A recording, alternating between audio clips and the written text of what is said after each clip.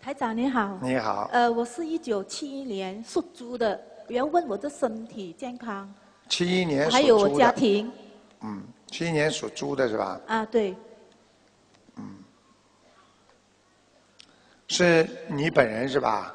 啊，对我本人。啊。那我告诉你，你的腰不好，腰啊，左腰啊，经常有酸痛。嗯，听得懂吗？是不是我做运动弄到呢？他说什么？我每次运动会激烈弄到是吗？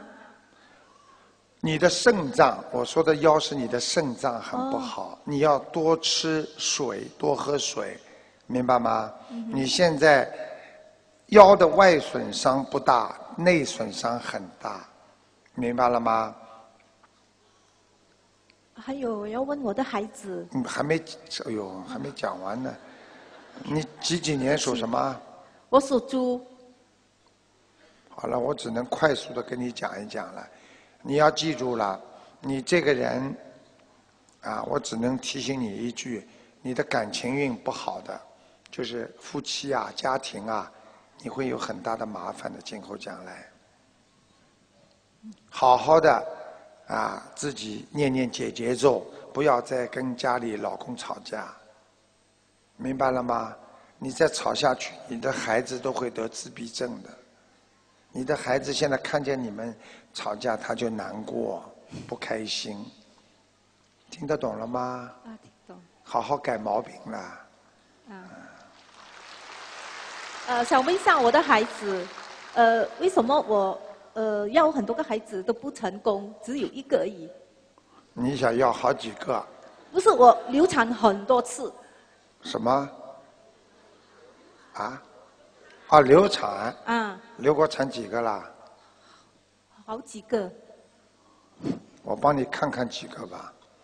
属猪的是吧？什么好几个了？三个。有两个比较明显，一个是很小的时候掉掉的。听得懂吗？什么原因呢？习惯性流产，医学上是这么讲。你要用灵性来讲，不给你孩子，因为你太凶了。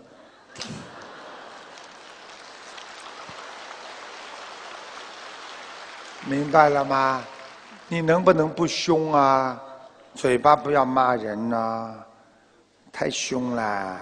还有啊，看看啦，自己要记住了，血脉也不和。你的血凝度也不好，听得懂吗？医生有没有讲过？我刚刚看图腾，你在怀孕的时候就有血液、糖尿什么都不正，就糖血糖不好，有没有过啊？不晓得。就不晓得，就是怀孕的时候有有那个血糖不好，血糖尿病高，就糖血糖高。所以这个很容易造成流产的，明白了吗？以后要吃素了，不能吃荤的了。哎，那个那个马来西亚那个素店、素食店多不啦？有不啦？啊，自己家里也能做到，饭店里也能吃嘛，对不对啊？好好吃素了，不要再搞了，真的。你这孩子已经有一点点小小的自闭了，我告诉你。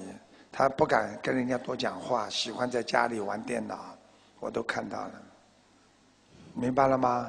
好了，好好念经啊。